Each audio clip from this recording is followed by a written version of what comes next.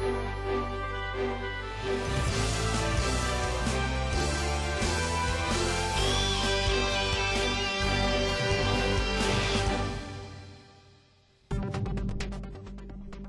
Campobello esposto sull'operato della commissione straordinaria la Regione dispone un'ispezione al Comune. Alcamo, ricordata ieri la strage di Alcamo Marina, 39 anni fa l'eccidio di due carabinieri. Trapani, Ryanair lancia la nuova programmazione estiva dei voli tra conferme e novità. Mazzara, illuminazione pubblica fai da tempi a Bonanno i residenti sul piede di guerra. Calcio, il Mazzara ritorna a casa al Nino Vaccare, derby di domenica contro l'Alcamo.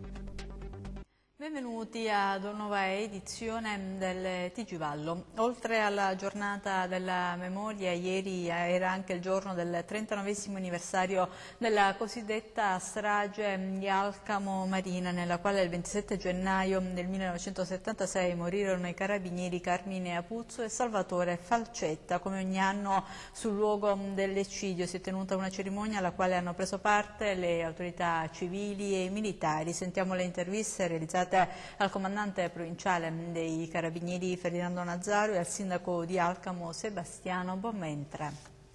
Mi piace eh, ricordare eh, insieme a voi, insieme alla comunità alcamese, eh, il sacrificio di questi nostri due carabinieri.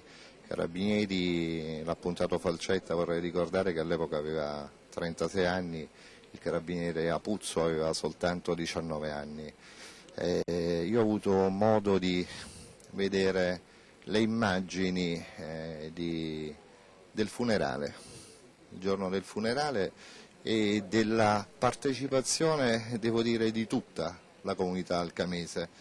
Ed era una partecipazione veramente commossa. E, e questo credo che sia la migliore risposta di vicinanza e di affetto nei confronti di questi nostri due carabinieri scomparsi nell'adempimento del dovere e, e, e, conseguentemente nei confronti dell'arma dei carabinieri. Noi siamo commossi e soprattutto siamo profondamente vicini ai loro cari, appunto eh, i loro familiari che a distanza di 39 anni ancora sentono fortemente e disperatamente la scomparsa dei loro cari appunto morti prematuramente. Eh, purtroppo questo mistero rende intollerabile la situazione, la giustizia vorrebbe che ci fossero dei colpevoli e che questi colpevoli andassero, andassero dove meritano, cioè in galera per tutto il resto dei loro giorni. Uno dei tanti misteri italiani, le ipotesi sono state fatte tante, sono stati, secondo la giustizia, degli innocenti sono stati in galera, tutti hanno pagato un prezzo troppo alto e, e c'è bisogno di chiarezza, lo dobbiamo per i carabinieri che sono stati, stati, uccisi, lo dobbiamo per la nostra popolazione, per i nostri giovani perché, perché quando si assicura un, un, un responsabile alla giustizia si dà credibilità allo Stato.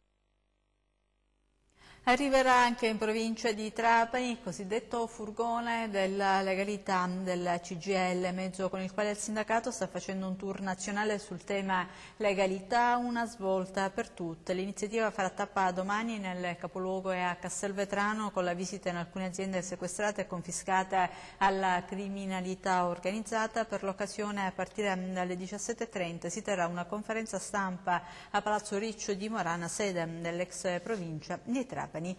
Controlli della Regione della Corte dei Conti siciliana sull'operato della Commissione straordinaria che ha guidato il Comune di Campobello di Mazzara il servizio. L'operato della Commissione straordinaria che ha guidato per oltre due anni il Comune di Campobello di Mazzara finisce sotto la lente di ingrandimento della Regione e della Procura della Corte dei Conti siciliana. Con un decreto firmato lo scorso 9 gennaio, infatti, il dirigente generale dell'assessorato regionale per le autonomie locali, Giuseppe Morale, ha nominato un funzionario per effettuare un accesso ispettivo presso l'ente locale campobellese. Sulla vicenda allo stato attuale non si sa molto, non si sa per esempio quali saranno gli atti che verranno sottoposti a controllo e su quali aspetti in particolare verterà l'ispezione disposta dalla Regione. Si sa soltanto che a chiedere l'intervento è stato lo scorso 27 novembre la Procura della Corte dei Conti a seguito di un esposto presentato il 22 maggio 2014. Un esposto che sarebbe stato presentato dal Comitato Liberi Cittadini Campobellesi.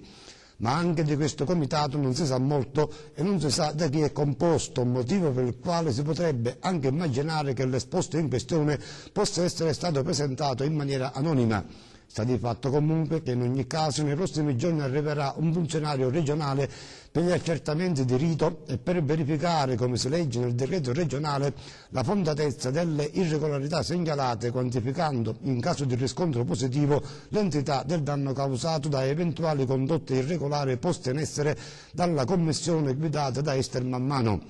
Ad effettuare l'accesso al comune Campobellese sarà Carlo Turriciano in servizio presso l'ufficio ispettivo del Dipartimento regionale per le autonomie locali. Dal momento del suo insediamento Turriciano avrà 60 giorni di tempo per portare a termine tutti gli accertamenti necessari. Gli esiti dell'ispezione verranno poi smistati alla Procura della Corte dei Conti. Come si ricorderà, la Commissione straordinaria ha guidato il Comune di Campobello di Mazzara sino ad un paio di mesi addietro per tutto il periodo intercorso tra lo scioglimento per mafia dell'ente locale e le elezioni amministrative dello scorso novembre. Una convenzione è stata siglata oggi dal direttore generale dell'azienda sanitaria provinciale di Trapani, Fabrizio De Nicola, e dal comandante del sesto reggimento Bersaglieri, colonnello Antonino Poma. La convenzione permetterà agli ufficiali medici e sottufficiali infermieri effettivi al sesto reggimento di frequentare il pronto soccorso dell'ospedale Sant'Antonio Abate. La convenzione per l'addestramento clinico pratico del personale sanitario militare durerà inizialmente un anno. Slitta il pagamento del saldo della tariffa di igiene ambientale 2013 a Mazzara del Vallo. L'amministrazione comunale infatti ieri ha reso noto che ci sarà tempo fino al 28 febbraio per pagare il tributo. Il differimento della scadenza originariamente prevista per il 31 gennaio si è reso necessario, come ha evidenziato l'assessore al bilancio Vito Bilardello, in quanto le relative bollette sono state emesse con ritardo ritardo. Non tutti i cittadini mazzaresi le riceveranno entro sabato prossimo. Inoltre eventuali errori nel calcolo della bolletta potranno essere segnalati all'ufficio tributi del Comune. E restiamo a Mazzara, parliamo di illuminazione pubblica, protestano alcuni residenti in via Santoro Bonanno per il guasto occorso a due pali della luce. Sentiamo. Illuminazione pubblica a Mazzara del Vallo, una problematica annosa che si trascina ormai da tanti anni, svariate le segnalazioni che si susseguono nei, nei, giorni, nei mesi, negli anni. Questa sera ci troviamo in via Santoro Bonanno, in una zona centrale di Mazzara, siamo a due passi dalla scuola elementare, a due passi dalla piazza Imam al Mazzari, due pali dell'illuminazione che non funzionano un guasto che sta creando tantissimi disagi ai residenti. È vero Giuseppe Montalto? Sì certo, è da un, un paio di, di, mesi, da sei mesi circa, che qua ci troviamo a buio, come avete notato eh, siamo illuminati dall'illuminazione che ho dovuto installare io, provvisoriamente, perché qua siamo totalmente al buio, tanto è vero che dobbiamo entrare con eh, i, i telefonini per vedere i buchi delle serrature, quindi è una cosa un pochettino grave, a parte che la settimana scorsa abbiamo ricevuto un furto e hanno, come al solito, arrampicato dei tubi delle, delle grondaie, dei tubi dei gas, quindi hanno scavalcato, rotto finestre e hanno rubato delle cose. Ci, noi cittadini di questa strada ci vergogniamo che ancora a sei mesi ancora non risolvono niente. Siamo andati all'ufficio tecnico e ci hanno informato che l'appalto deve essere dato e le buste si apriranno in questi giorni, quindi ancora il fatto non c'è. Quindi noi siamo messi al degrado. Come potete vedere siamo al buio completamente. Quattro anni e da sei, da sei mesi l'altro palo, che, come questo di qua, è proprio al buio. Quindi noi cittadini di questa strada ci spaventiamo anche i bambini che escono dalla porta, è, normale, al buio non vedono niente, qualcuno può fare qualche razzia, dare qualche colpo in testa a qualcuno, entra e fa danno, quindi non è che è una cosa grave. Io spero che magari con Televallo si ne fuori qualche cosa, io non lo so rimanete fiduciosi tra virgolette che questa gara d'appalto, queste buste, insomma, Io si spero, riesca a intervenire nel più breve tempo possibile. Spero, a meno che il signor Sindaco provi qualche altra cosa e ci viene a mettere qualche giarra, qualche, qualche, come dire, qualche ceramica al posto dei lampioni, magari, magari avremmo più, come dire, più persone che vengano a visitare la strada, perché arrivato a questo punto al sindaco gli interessa più la ceramica che tutte le problematiche della città sia eh, fognatura, strade rotte, marciapiedi eh, avvallati, c'è una cosa assurda. Si è riunito ieri pomeriggio il Consiglio Comunale di Marsala. Dopo alcuni interventi di consiglieri, il Presidente Enzo Sturiano ha proposto una sospensione della seduta al fine di stilare un ordine dei lavori. Al rientro in aula però non c'era il numero legale, la seduta pertanto è stata aggiornata questo pomeriggio in prosecuzione alle 17. Con l'obiettivo di ridurre i costi della politica locale, il gruppo consigliare di Alcamo Bene Comune ha presentato una mozione che mira a regolamentare l'erogazione dei gettoni di presenza ai consiglieri comunali alcamesi. Attualmente ricordano i tre consiglieri di ABC, i consiglieri percepiscono un gettone di presenza indipendentemente dal raggiungimento del numero legale all'interno delle commissioni. Da qui la proposta di modificare tale regolamento ponendo come vincoli per l'erogazione del gettone l'effettiva partecipazione dei consiglieri ai lavori delle commissioni, il raggiungimento del numero legale e la trattazione dell'ordine del giorno.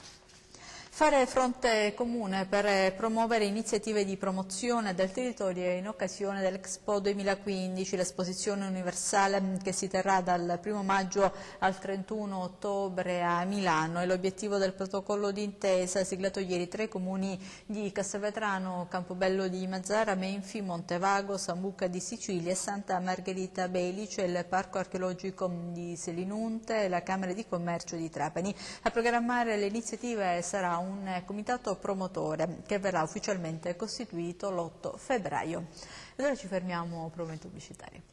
Nuovo appuntamento oggi con la scuola biblica della diocesi di Mazzara del Vallo. A partire dalle 17.30 nei locali del seminario vescovile si terrà il nono incontro del ciclo promosso dalla scuola che verterà sulla conoscenza e sull'attualizzazione degli atti degli apostoli. La partecipazione è gratuita.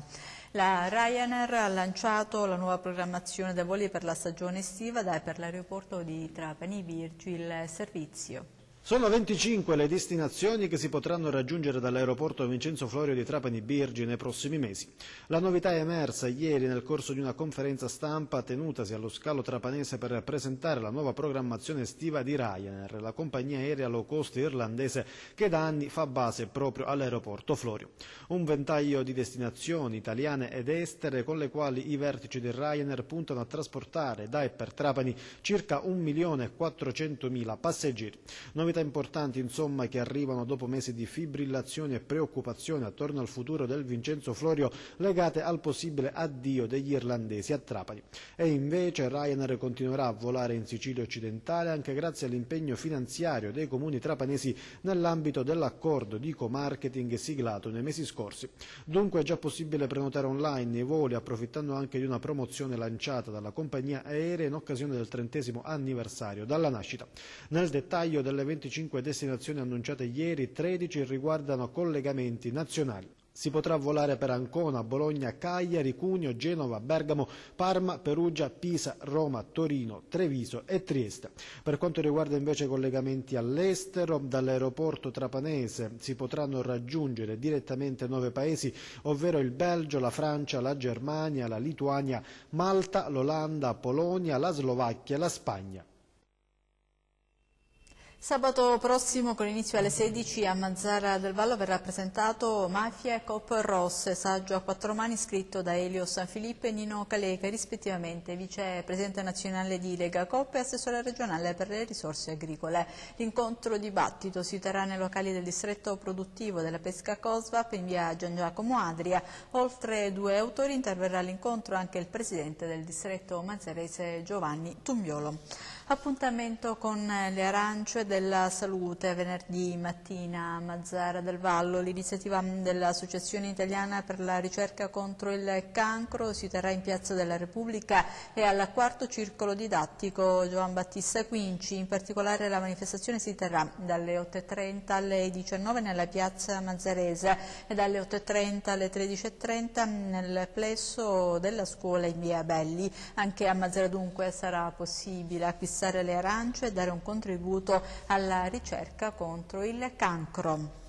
Si terrà il 30 e 31 gennaio e il 1 febbraio dalle 16.30 alle 18.30 test e cappello, un laboratorio rivolto ai bambini dai 5 agli 11 anni promosso dall'associazione Oliver di Mazzara del Vallo. Il primo incontro si svolgerà presso il Teatro Garibaldi dove l'attore Giacomo Guarneri leggerà L'ora blu.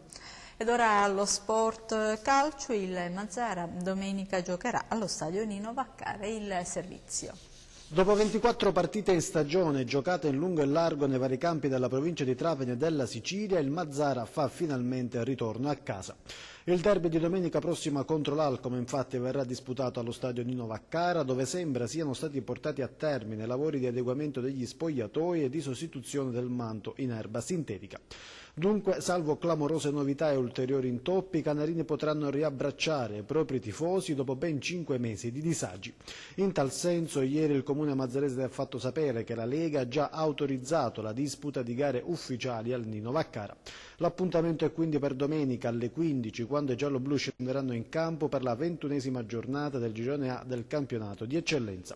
Finora sono state 14, compresa la Coppa Italia, le partite casalinghe disputate lontano dal Nino Vaccara, mentre da qui alla fine del torneo il Mazzara potrà disputare soltanto 5 match del proprio stadio, compreso il derby con l'Alcom ed esclusi gli eventuali play-off.